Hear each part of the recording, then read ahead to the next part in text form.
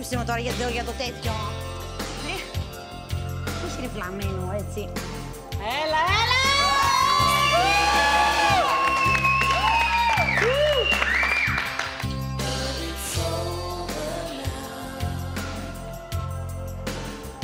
Είναι το απόλυτο απόλυτο. Δεν κολλάει.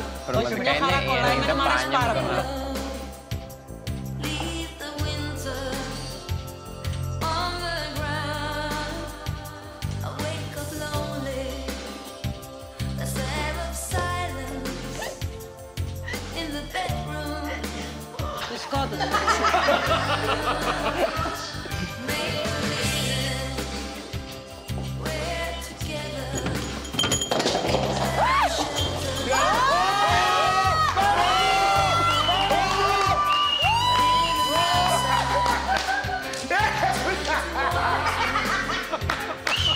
Αλλά ήταν εκεί η σκηνή, παιδιά, που με σήκωσε και με πέταξε από το τραπέζι. Δεν την έχω ξαναζήσει στη ζωή μου, αλλά θεωρώ ότι όλες οι γυναίκες θέλουν έναν άντρα έτσι 100%. Ε, ήταν πολύ ωραία η σκηνή. Αν τα εννοούσε κιόλας, θα ήταν ακόμα καλύτερη. Must have been love, but it's over now.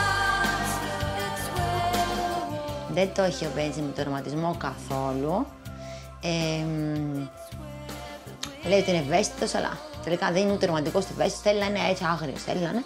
Ε, και μ, κρίμα γιατί εγώ θέλω έναν ρομαντικό άντρα που να είναι και άντρας. Έτσι, να είναι και ρομαντικό και άντρας.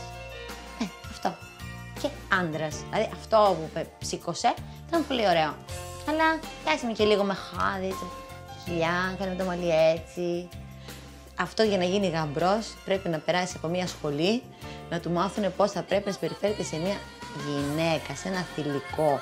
Διότι θεωρώ ότι με όλες αυτές που έχει συνυπάρξει δεν α, του είχαν μάθει τα βασικά. Δεν ξέρω αν του είχαν μάθει μόνο το τι κάνουν στο, στο δωμάτιο το ειδικό. Ε, ε, εκτός δωματίου δεν, τους, δεν του έχουν μάθει τίποτα ε, πώς θα συμπεριφέρεται. Έχεις βγάλει συμπεράσματα για το αν είναι καλό στις προσωπικές του στιγμές; Ναι. Πιστεύω πως ναι, εκεί είναι πολύ καλός. Τόσο πολύ τον έχεις μελετήσει; Μπορεί εκεί να του βγαίνει η, η ευαίσθητη πλευρά που συνέχεια τονίζει πως έχει. Ναι, μπορεί εκεί, ναι, ναι, ναι. Ε, έχει και το άγριο, θα το έχει, αλλά πιστεύω ότι όπως και να έχει, θα είναι πολύ καλός. Δεν ξέρω, για- γιατί είναι τόσο όμορφος άντρας. Τέλος πάντων, τα ακούει τώρα και η μάνα μου, χαίρεται. Έχει, θα χαίρεται η μάνα μου, γιατί εντάξει, επιτέλους θα πει να και ένας άντρας που της αρέσει της κόρης μου, γιατί δεν, δεν, δεν της αρέσει και κανένας.